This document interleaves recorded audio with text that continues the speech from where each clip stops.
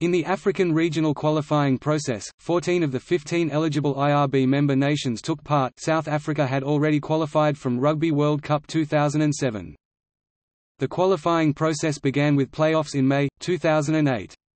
The 2008–09 Africa Cup doubled as the qualifying tournament, with the winner being Africa's direct qualifier.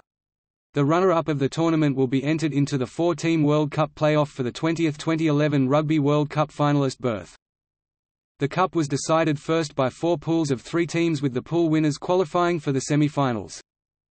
Namibia swept Tunisia in a two-legged final, qualifying for Pool D of the 2011 Rugby World Cup, while Tunisia advanced to the final place playoff.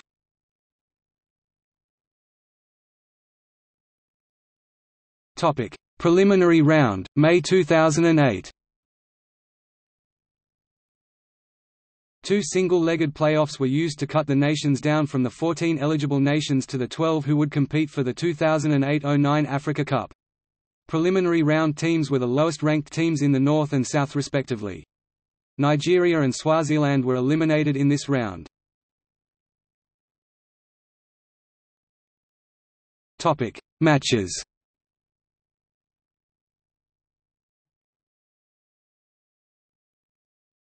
Topic: Round 1, June, August 2008.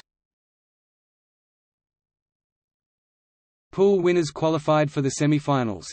Pools were determined through world rankings, bonus point system 4 points for a win 2 for a draw 0 for a loss 1 point for scoring 4 tries in a game 1 point for losing by 7 points or less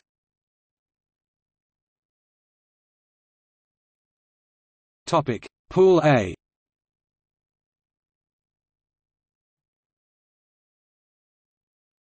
Topic: Matches.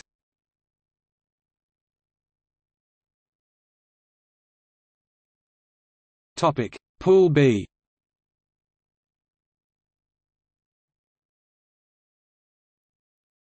Topic: Matches.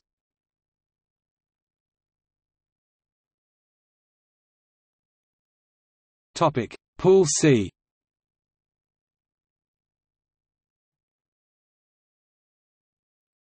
Topic: Matches.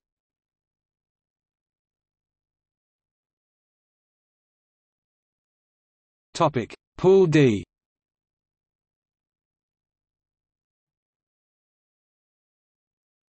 Topic: Matches.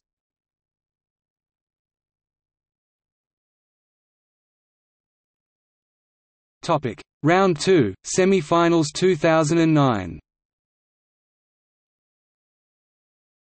Winners on aggregate progress to round 3. Topic: Round 3, qualification final. Namibia and Tunisia competed for Africa's automatic place in the 2011 Rugby World Cup finals in New Zealand over two legs, with Namibia qualifying for their fourth consecutive World Cup. Tunisia faced Romania, the third-place team from Europe, in the semi-finals of the playoff series. Namibia won the series 2–0, with an aggregate score of 40–23.